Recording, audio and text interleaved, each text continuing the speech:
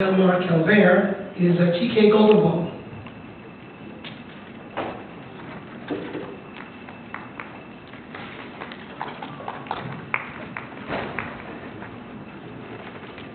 Thank you very much, Andy. You're doing a wonderful job. We appreciate it. My name is TK Golden Bell, and Delmar is the coach of my son. So he's asked me to say a few words of introduction. When I say he's the coach of my son, I mean he's the coach of my son now. He- He's teaching him now, twice a week. He's still teaching fencing. In fact, last Tuesday was Delmar's 87th birthday, and he came and he taught fencing on his 87th birthday. And he can still wear the children out. So he comes to Northwest Fencing Center in Beaverton, Oregon, twice a week.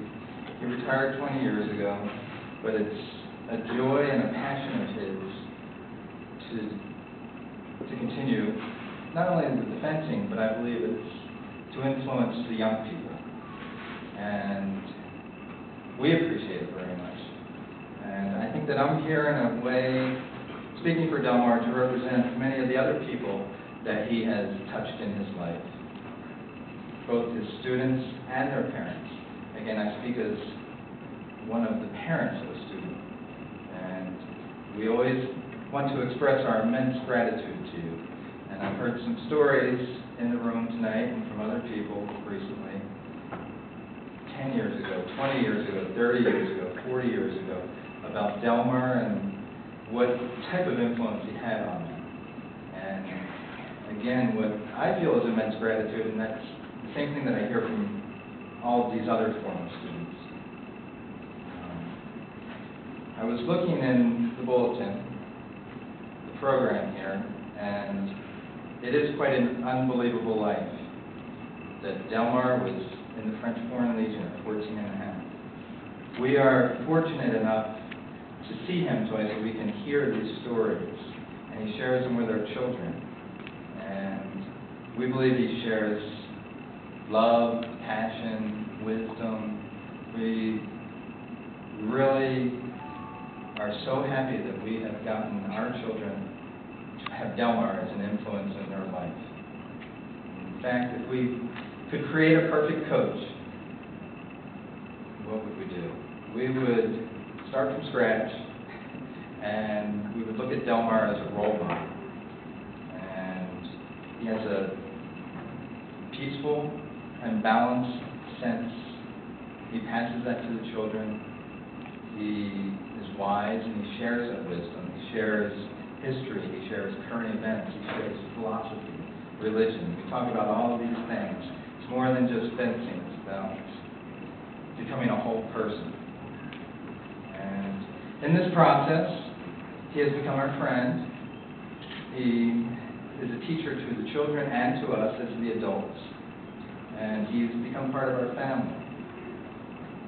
So we consider our son and all of the other children that Delmar has taught to be some of the luckiest kids in the world.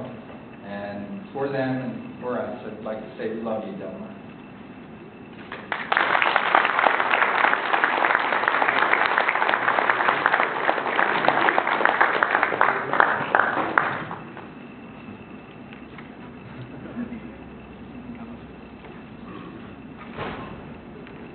I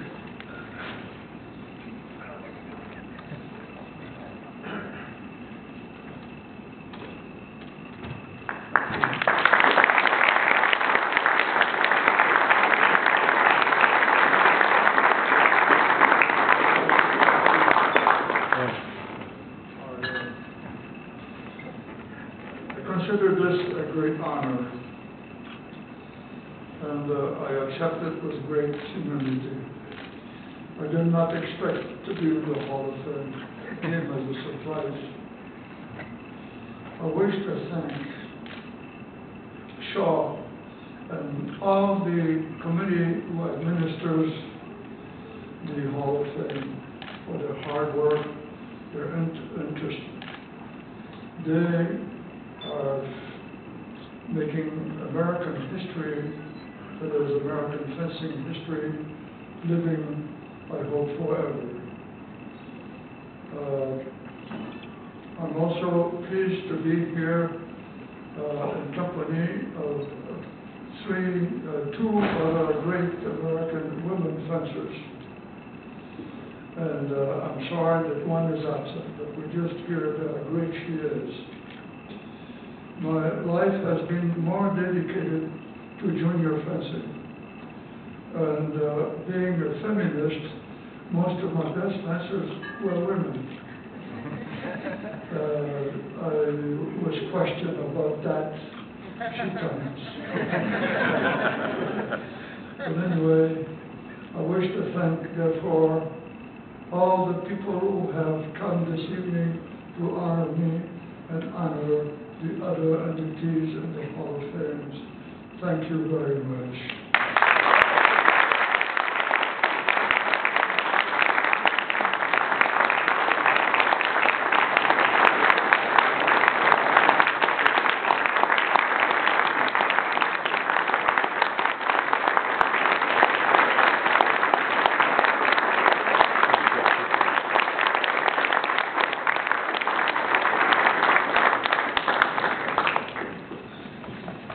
And uh, by the way, I just want to um, draw a note that Bradley Thomas here, Bradley, would you stand up for a second?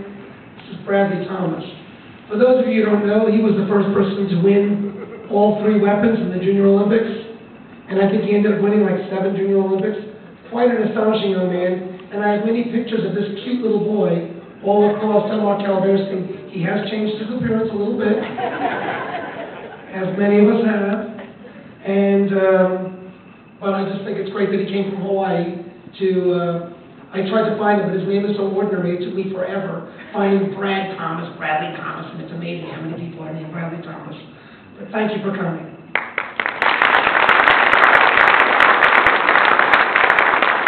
And to introduce uh, Stacy Johnson, we have the 15th President of the United States Fencing Association and the 22nd President of the AFLA and USA Fencing, Steve Sobel.